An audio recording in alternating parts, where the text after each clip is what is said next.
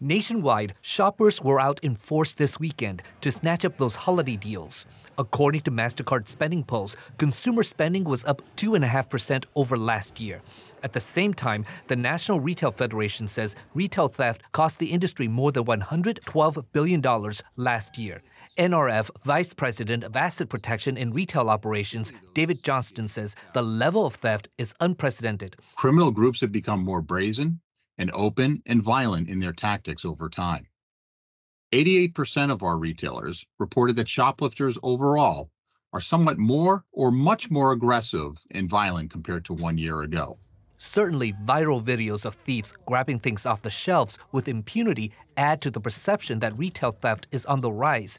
But according to the San Diego Police Department, theft was down nearly 15% last year. But that didn't stop SDPD from announcing it would increase patrol at shopping centers. University of San Diego economics professor Alan Gin says that's a bit of security theater. Yes, it is to make people uh, feel safer when, when they go out shopping. Gin says compared to the first six months of 2019, a year before the pandemic, and the first six months of this year, retail theft is actually down. So I think what the numbers show is that uh, uh, possibly uh, inventory loss is, is up uh, compared to 2020 uh, and 2021, but those are pandemic years.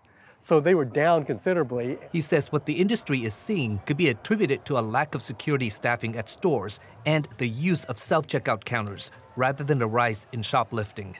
Alexander Nguyen, KPBS News.